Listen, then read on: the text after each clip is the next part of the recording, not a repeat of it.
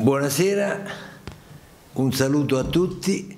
e un grazie particolare ai relatori e ai componenti del Comitato di indirizzo scientifico per la redazione del codice unico tributario. Un comitato che vuole affrontare un'opera titanica come il riordino delle leggi tributarie italiane, che sono una selva quasi inestricabile, per portarle in un codice unico con queste parole Gianni Letta, presidente dell'ISLE, Istituto per la Documentazione e gli Studi Legislativi, ha introdotto la presentazione in videoconferenza del Comitato di indirizzo scientifico per la redazione del Codice Unico Tributario, progetto scientifico profondamente voluto da Asso Holding. Oggi possiamo dire che è una giornata storica, le riforme tributarie si fanno ogni 40 anni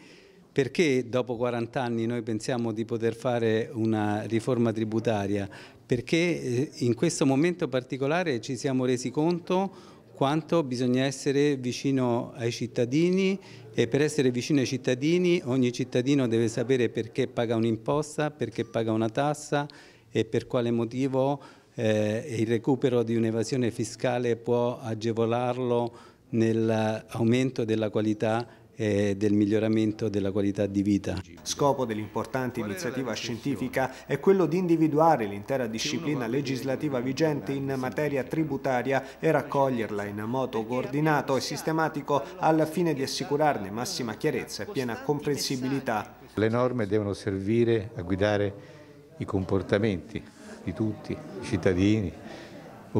imprenditori, funzionari della pubblica amministrazione, le istituzioni. Ma per far questo non ci si può appellare soltanto al fatto che non è messa ignoranza della legge. La legge deve essere comprensibile, deve essere soprattutto chiara qual è, quali sono le norme vigenti. Il codice è un modo, non è tanto amore per Napoleone che o per diciamo, la tradizione amministrativista francese, ma diciamo, è un modo per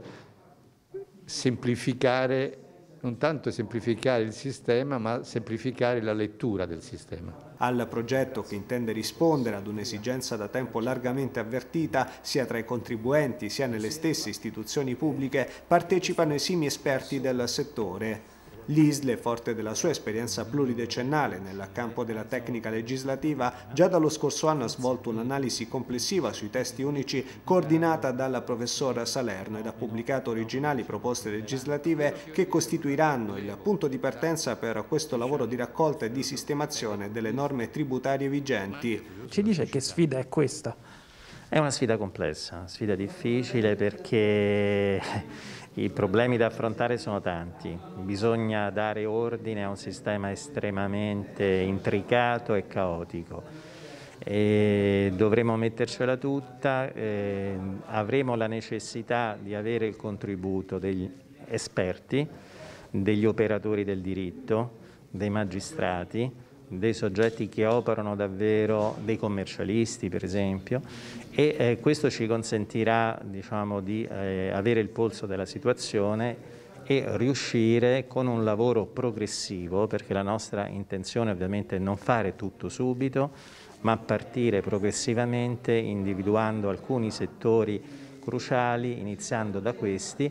e poi proseguire per un lavoro complessivo. All'iniziativa ha aderito anche l'ANTI, Associazione Nazionale Tributaristi Italiani, mediante il supporto del professor Pietro Selicato. Fare un testo unico è un lavoro enorme sul piano diciamo, materiale, quantitativo, ma poi c'è tutta diciamo, la ricaduta eh, sulla politica che eh, deve eh, voler recepire non solo il testo di un documento come questo, ma anche l'idea di eh, scegliere una strada che sicuramente è la meno eh, rapida da percorrere. Si fa presto a fare una riforma che settorizza una certa serie di misure e lasciare tutto il resto così com'è. E invece, appunto, come ho detto eh, poco fa, quello che conta, secondo me, è dare le fondamenta per poter fare poi tutte le riforme che si vogliono e che la politica potrà scegliere, ma avere delle basi concrete e chiare su cui poter operare.